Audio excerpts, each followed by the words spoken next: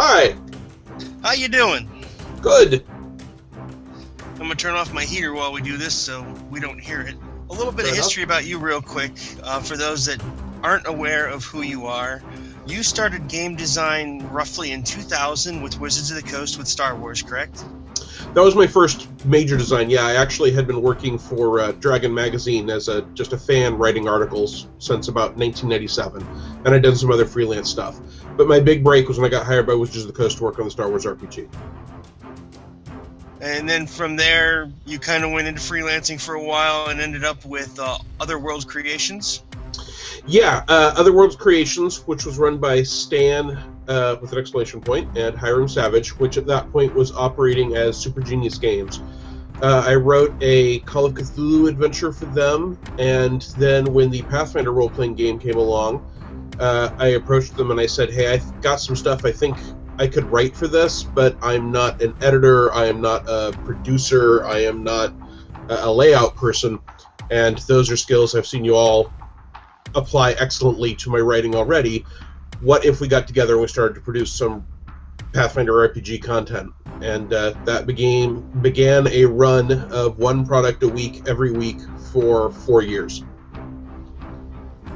And since then, you've done all kinds of stuff more Star Wars, lots of Pathfinder, obviously, uh, EverQuest, the Black Company role playing game, and Wheel of Time, which I didn't realize you were involved with at all, actually.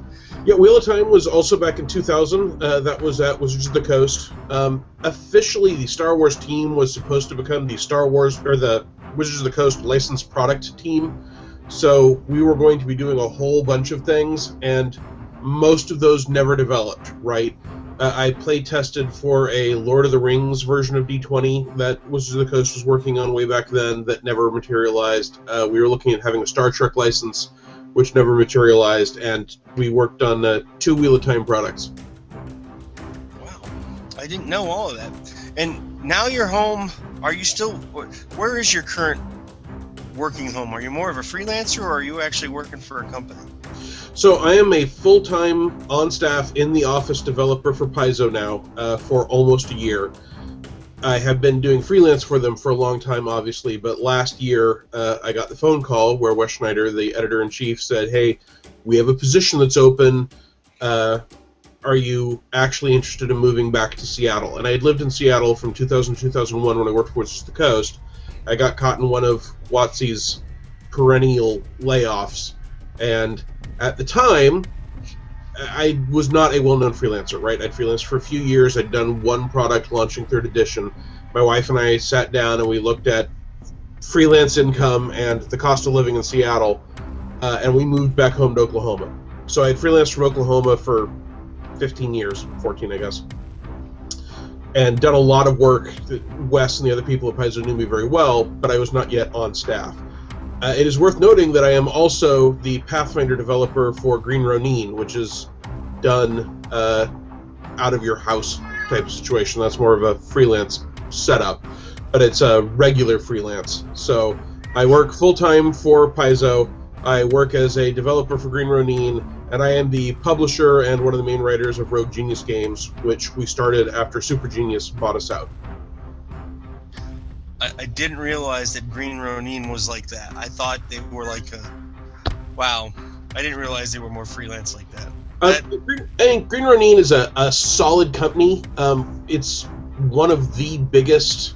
Uh, doesn't have a, a huge building of its own setups, but a lot of what we do, right, is sitting in front of our computer screen and typing. And as we're proving right now, it's pretty easy to talk to people with modern technology. So rather than have a specific office set up. they let people work from their homes and work their own hours, and that lets them get the people they want rather than the people they want who can all drive to the same building. We do have a get together every year, uh, normally in October, so that we spend some time making plans for the next year and such.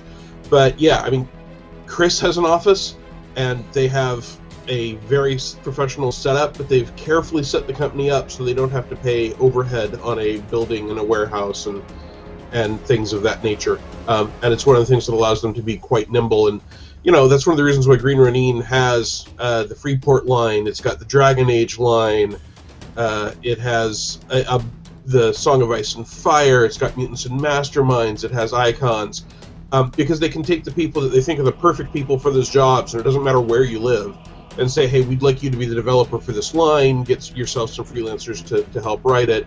Uh, I think it's a real advantage for Green Ronin and the way they operate. Yeah, it is, and I mean they've managed to put out some quite impressive products. Yeah, I uh, I worked with Chris Pramas at Wizards of the Coast back in 2000 2001, um, and when I went freelance, of course, that was at the dawn of the D20 boom.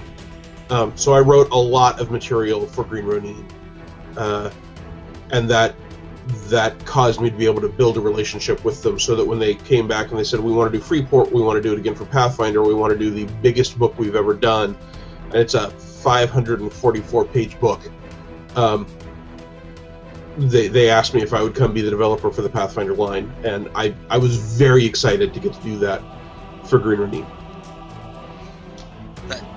That that's a feat 500 40 some pages. It's it's a chunk, right? Um, it takes pretty much all the material we've had for Freeport before. Uh, it has a lot of new rules content. Uh, so much, in fact, that we put out a player's guide so that if if you want to run a Freeport campaign, right, you want that great big hardback book. And if you're just a fan of, of Freeport and you want that piece of, of its background and history, you want that great big book if your GM is running a game and all you want is, hey, I, I want to be able to make a freebooter character and I want to understand the insanity rules and I want to look at the its set of firearms and feats and stuff, there's a player's guide PDF you can pick up where you can say, okay, here's the material I need. It's got a primer on the city rather than going into detail with absolutely everyone. Uh, it's kind of the, the perfect player companion for that setting, and it's got all of the player focused rules content as well as enough material about what is Freeport and who's in charge and what are the, the various sections of the city like that you can get a feel for it without having to absorb this huge tome.